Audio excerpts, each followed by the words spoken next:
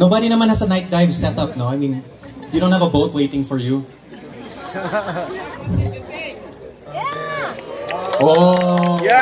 Ah, there you go. Henley from Wow. the UK and France. Let's see what the judges have to say.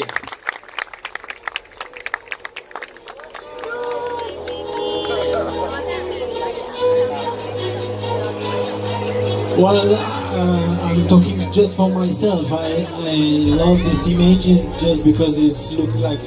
I mean, when I was a, a kid, I wanted to be a, a cosmonaut in the space, and this picture remind me something into the space, like a comet, you know, like a star going very fast, and that's why I, I like very much this picture.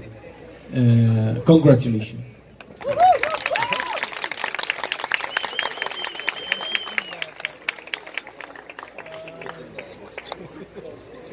Okay?